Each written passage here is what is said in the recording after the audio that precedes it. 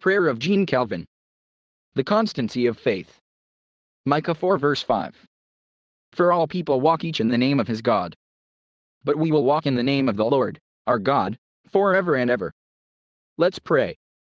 Grant, Almighty God, that since under the guidance of thy Son, we have been united together in the body of thy church, which has been so often scattered and torn asunder, O grant that we may continue in the unity of faith, and perseveringly fight against all the temptations of this world, and never deviate from the right course.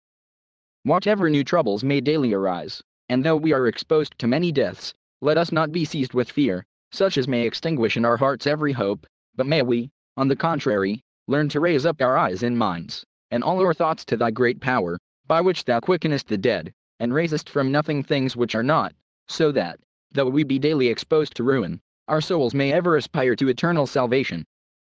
Until thou at length really showest thyself to be the fountain of life, when we shall enjoy that endless felicity, which has been obtained for us by the blood of thine only begotten Son, our Lord Jesus Christ. Amen.